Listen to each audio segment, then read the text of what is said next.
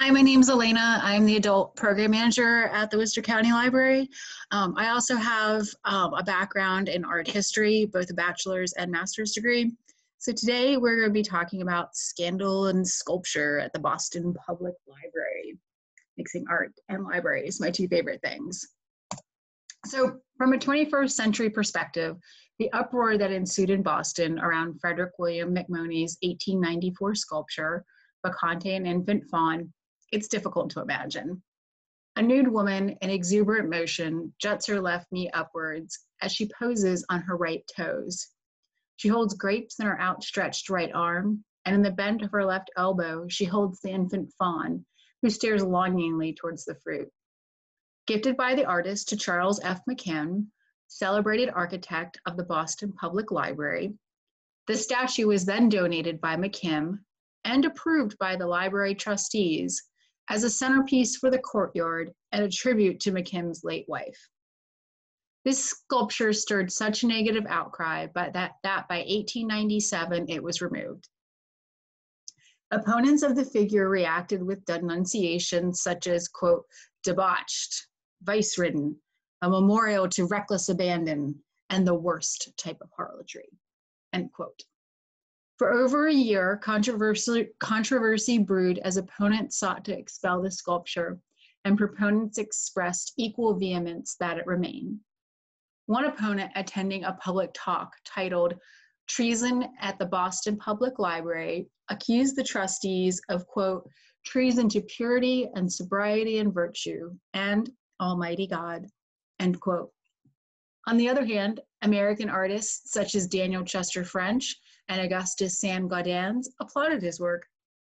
American art critic Royal Cortissoz offered his praise when he declared, quote, it is deft, compact, a little triumph of, con- of concision, yet it has all the expansive grace, all the intimations of endless movement, which belong to a dancing figure, end quote. What was the cause of these remarks in the fall of 1896?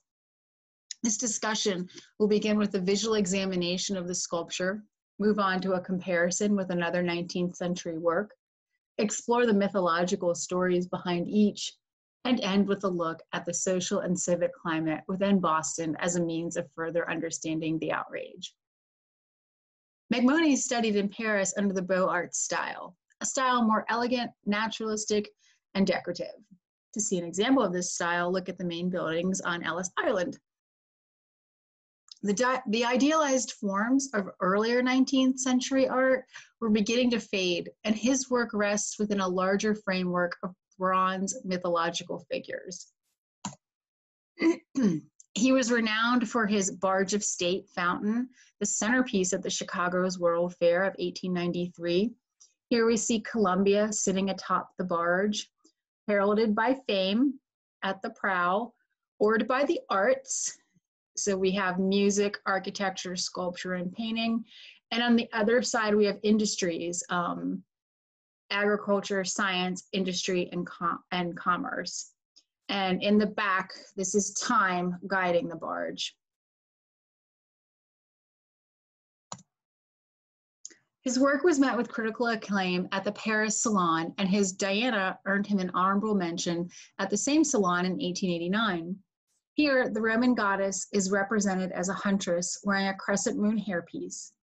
She balances athletically on one foot, having just released an arrow and the bow in her left hand.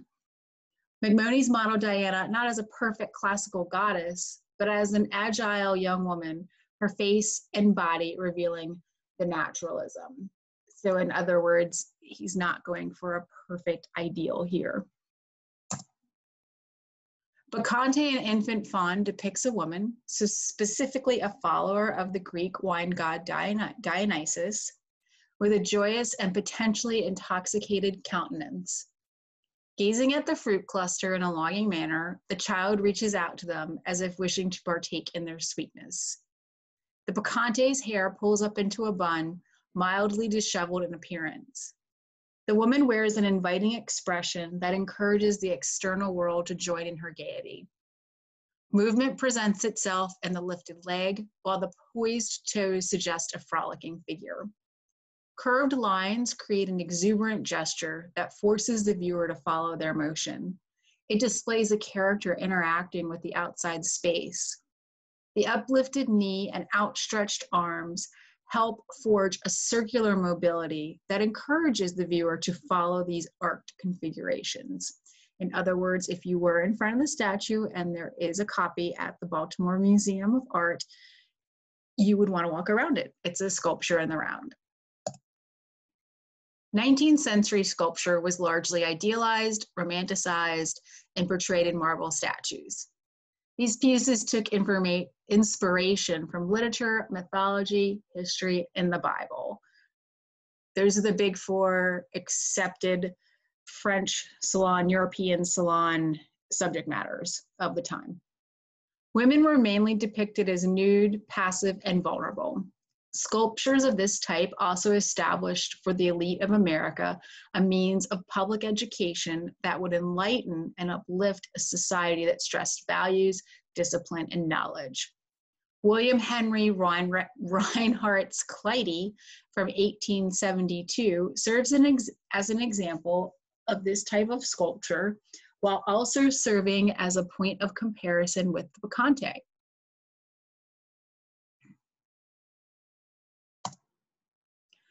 Clytie was a sea nymph, sea nymph who loved the sun god Apollo, though he shunned her affections. In her grief, she stood watching the sun for nine days and nights without food or water. The gods took pity on her and turned her into a sunflower so she could watch her love forever. Apollo is the god of light and measure, opposite in characteristics to the wine god Dionysus. He represents the rational, measured, and balance. To know oneself would be a way to sum up the Apollonian school of thought, which was internal and introspective. Clytie is a nude standing in a graceful manner with a downward gaze of sadness. Holding a wilted sunflower in her hand and supported by a stump covered in the same flower, she is smooth, made of marble, has an elongated body, and is idealized in depiction.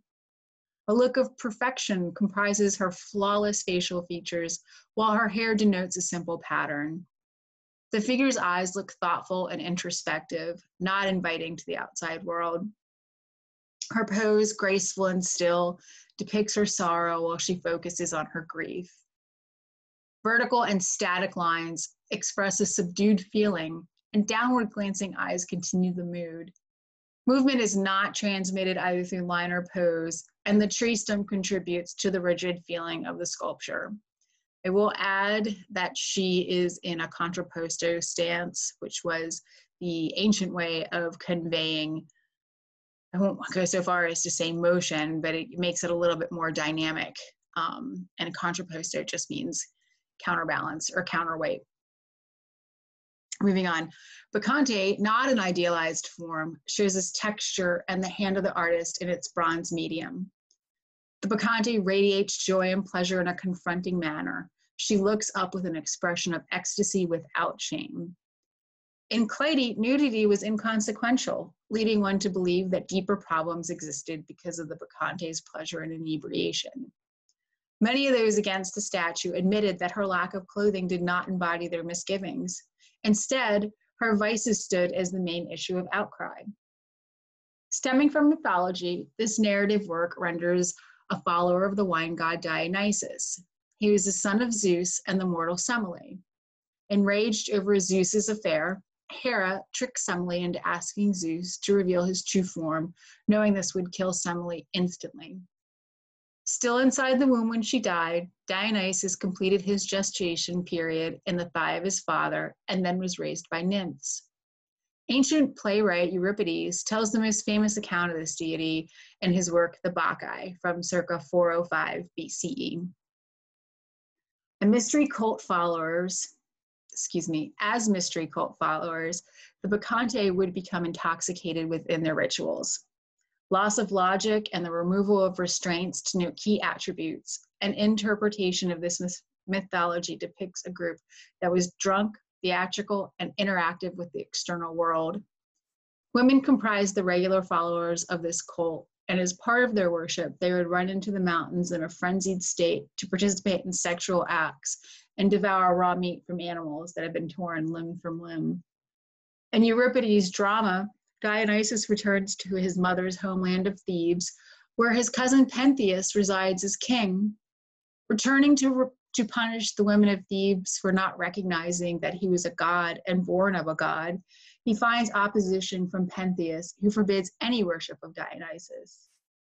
Unable to stop the women, including his mother Agave and even the older statesmen, Pentheus meets with a tragic ending.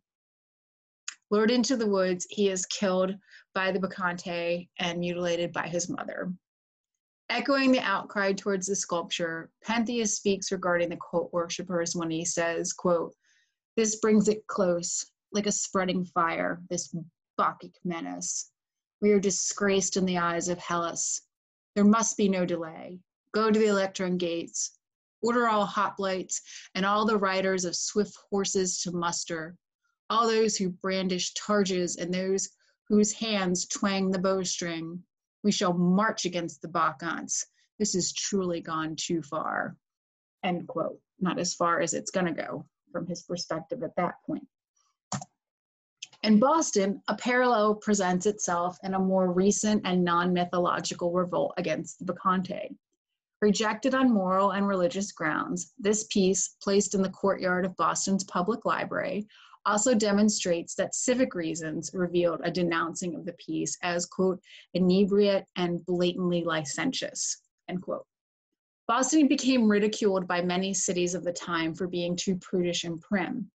As the New York Sun stated, quote, the people there in Boston do not believe that such trifling with the terrible gravity of life as the Bacchante delighted in is proper. They don't do it themselves, and they object to anybody's doing it or having done it, end quote. Here's another connection with Euripides, Euripides' play. Pentheus too sought to prevent sexual escapades and open intoxication. There is more into the story than an upright and uptight and overly moral puritanical society in Boston of the time. Issues around civil control and use of public space were paramount in the 19th century, Nudity and sobriety were not the crux of this outrage, but rather a race to claims of social legitimacy. A deep anxiety existed relating to changing identities and shifting hierarchies within the city. Leading this opposition were the religious organizations comprised of middle and upper class citizens and important members of Boston's Anglo Saxon Protestant elite. Concerned with the changing roles and hierarchies within the city, they feared the statue would incite social anarchy in addition to damaging their political power. More specifically, opponents saw it as, quote, a challenge to a moral and social hierarchy, quote, that shored up their waning political power. At its root, the controversy tapped into the idea of whose civic values would shape public life. This trepidation caused them to vehemently attack the piece. Foremost in this assault were prominent Boston figures, among them Harvard President Charles W. Eliot, Harvard professors and critics Barrett Wendell and Charles Eliot Norton, and Judge Robert Grant. Impeccable examples of social status, all these men comprised Boston Brahmins, Anglo Saxon Protestants that had sustained themselves over generations through old money, family ties, and involvement in several cultural and political organizations in the city. They shared with associations such as the Religious Watch and the Women's Christian Temperance Union the belief that art's impact on a person was extremely influential over behavior. Installed in a public building, Bacchante would reach a wide audience, including people considered uncultured and therefore most dangerous. Also, by placing this statue in a public space, McKim and the library trustees unwittingly pushed the Bacchante into the center of debates at the time, including women's roles, the position of an Anglo-Saxon Protestant elite, and the proper nature of leisure activities. Bacchante inadvertently played a role in the struggles of competing classes and ethnic groups vying for social and political expression. By the late 19th century, public libraries represented an instrument of social reform, and members of the public library movement began, begun in 1876 looked to this venue as a potential solution to social problems such as alcoholism, poverty, and the assimilation of diverse ethnic groups. Libraries were stocked with good reading materials and fine art for self improvement and the creation of better, more responsible citizens. Though this might sound like the community hub of today's library, for the Boston Brahmin, the quote, public in public institution did not imply an open place to congregate or bring together different groups. What matters mo- what mattered most to them was quote absorbing prescribed communal values, in this case determined by a political and social elite. End quote. As sociologist Paul DiMaggio has written, quote, Boston leaders retreated from the public sector to found a system of nonprofit organizations that permitted them to maintain some control over the community even as they lost their command of its political institutions, end quote. Both the Boston Museum of Fine Arts and the Boston Symphony were founded in this period, and although the public library helped to consolidate elite social structures, it especially reached out to a lower class constituency. Another example of an artwork rests inside the grand staircase at the, at the Boston Public Library. Here we see Chavannes' chemistry from 1896. Unlike the light-hearted Bacchante, this painting fit with the cultural notions of Victorian behavior. This partially nude figure of chemistry shows a traditional and acceptable display of the female form, nudity cloaked by allegorical context. She stands waving a wand over elements, creating mysterious change as spirits look, look on. An image of civilized society, she represents rational, scientific endeavor and humankind's effort to domesticate natural forces. The solid, column like, and balanced form of the figure underscores that control. Posing the largest perceived threat to the Brahmin lifestyle were the Irish, who were in, immigrating in vast numbers to Boston. Inappropriate characteristics perceived in the statue extended to their fear of lower class and immigrant absorption in society and potential reversal of the city's social structure. Magazines such as Atlantic Monthly and Century circulated reports about the degeneracy of second generation immigrants. Catholic and culturally distinct, the Irish began arriving in Boston in, in the 1840s. By 1895, estimates put the Irish population at about 60%. The upper class focused on their poverty and felt that they were incapable of being productive, even though, or maybe because, of the Irish increasing their electoral strength by politically challenging Boston's upper class. For example, in 1884, an Irishman became mayor for the first time. This political battle caused many of the elite to think their values were under attack by an alien people. To make matters worse, a drunken stereotype adhered to this group. Saloons were a thorn to the upper class, and alcohol was considered a scourge. These factors did not assist the Bacchante controversy, but rather inflamed the situation. Placing this immoral statue in a public venue essentially meant the same as installing a saloon in the courtyard. Both would oppose Christian sensibilities. As the New York Times reported, the Reverend J. Boyd Brady in a sermon asked, quote, where is the man worthy of the name American and Christian who is willing to set up before eyes of youth a statue sacred to immodesty and obscenity? Where is the woman, the mother, the daughter who wants a statue in this fair city of humanities dedicated to the seducer, the libertine, the harlot, the pimp, the pander, and the bawd? Away with the horrid thing and bury it in the bay. End quote. Two cartoons of the time serve as examples of middle and upper class concerns. In a suggestion for a pedestal for the Bacchante, a Boston newspaper cartoon one notices the statue atop categorized types of alcohol.